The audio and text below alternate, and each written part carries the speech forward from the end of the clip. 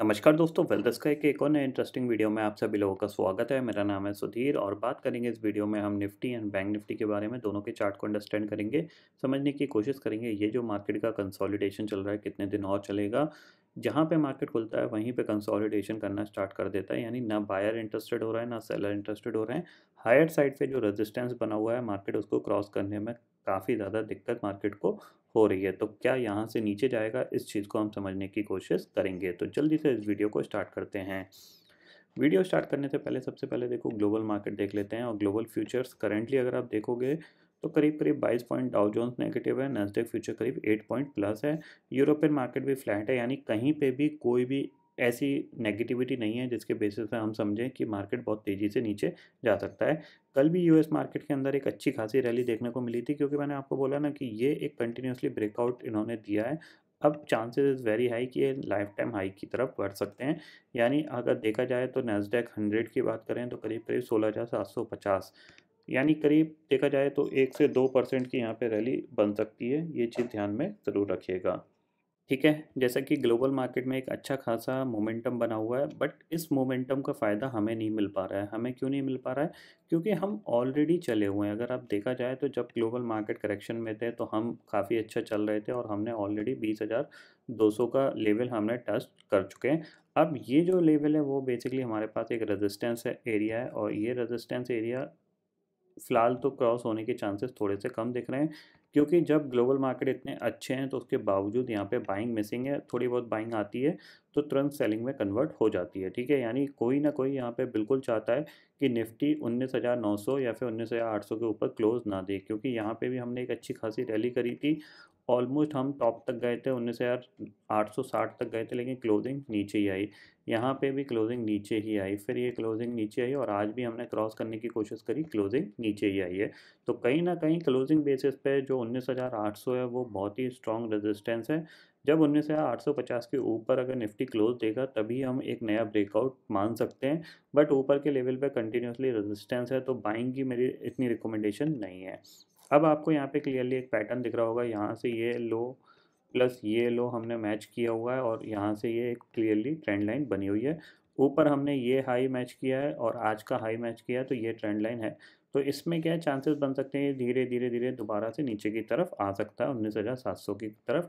ये पॉइंट आपको ध्यान में रखना है। तो करना क्या है आपको? तो चाहो तो आप इस ट्रेंड लाइन के नीचे आप एक बार इसको सेल करके काम कर सकते हो। यानी उन्नीस हज़ार सात सौ साठ के नीचे आप इसको या सात सौ सत्तर के नीचे आप इसको सेल करके काम कर सकते हो। टारगेट आपके पास होना चाहिए उन्नीस हज़ार सात सौ तक का, इतना ही टारगेट आपको मिलेगा क्योंकि मार्केट क्या है, बहुत ही ज़्यादा रेंज बाउंड है। रेंज बाउंड मार्केट में एक दो ही मूवमेंट आते हैं, उसके बाद मार्केट साइडवेज चला जाता है, ये चीज़ ध्यान में ज़रूर रखिएगा, ठीक है? ऑप्शन चेन डाटा में भी अगर हम देखें तो ये पर्टिकुलर सीरीज़ में भी आपको दिखेगा, उन्नीस सौ की जो कॉल है, वहाँ पे एक करोड़ का ओपन इंटरेस्ट खड़ा हुआ है। पुट पे सिर्फ़ सेवेंटी फोर लाख का ओपन इंटरेस्ट खड़ा हुआ है। उन्नीस सात सौ की कॉल पे थर्टी सेवन लाख का ओपन इंटरेस्ट है पुट पे कितना है? एटी थ्री लाख का ओपन इंटरेस्ट है। इसका मतलब क्या है? उन्नीस सात सौ के नीचे निफ्टी अगर स्लिप करता है तो फिर प्रॉब्लम है अदरवाइज़ उन्नीस सात सौ से लेकर उन्नीस आठ सौ की रेंज आपको देखने को मिलेगी।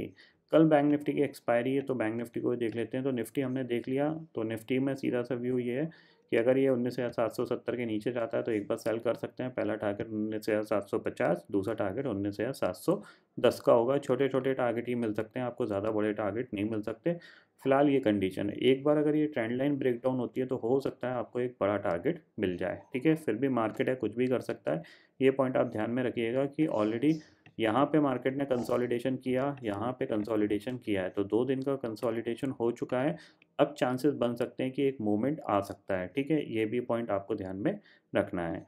बैंक निफ्टी को देख लेते हैं। तो बैंक निफ्टी के लिए देखो बैंक निफ्टी में अगर देखा जाए तो यहाँ पे भी ये आप देख सकते हैं, ये लो था, ये लो हमने मिला के ट्रेंड लाइन बनी। इसके नीचे जाने की कोशिश करी, फिर ऊपर चला गया। तो कहीं ना कहीं बैंक निफ्टी ने क्या किया है? यहाँ पे एक फॉल दिखाया था, उसके बाद ये वॉलेटिलिटी रही और ये कंसोलिडेशन है।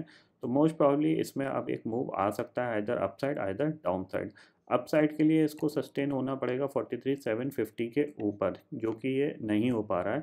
अगर इसके ऊपर सस्टेन करेगा, तभी हम एक्सपेक्ट कर सकते हैं कि ये हाई तक ये जा सकता है। और एक बार अगर ये नीचे की तरफ़ मूव करना स्टार्ट करता है तो हम नीचे के हमारे पास जो टारगेट है, वो फोर्टी थ्री टू फिफ्टी तक के टारगेट हैं। इतने ही टारगेट मैं एक्सपेक्ट कर रहा हूँ।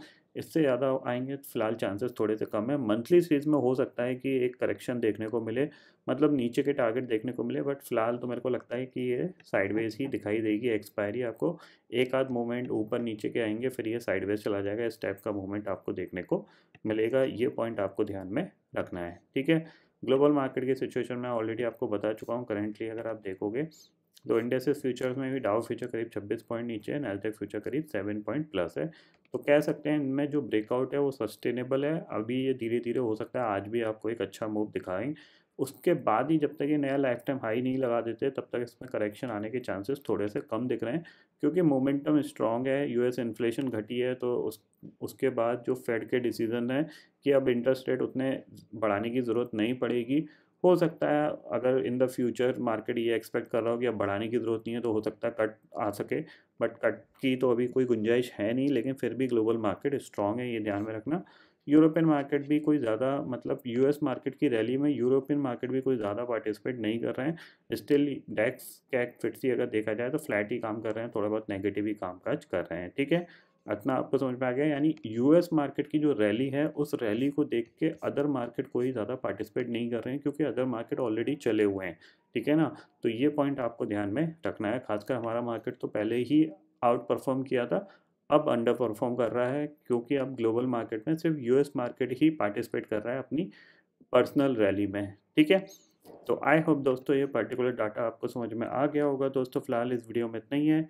आई होप ये वीडियो आपको पसंद आएगा। वीडियो पसंद आता है तो लाइक और शेयर ज़रूर करिएगा और चैनल को जो सब्सक्राइब कर लीजिए, क्योंकि मैं सुधीर लेके आता रहूँगा हर दिन आपके लिए नए वीडियो इसी के साथ शुक्रिया दोस्तों। जय हिंद।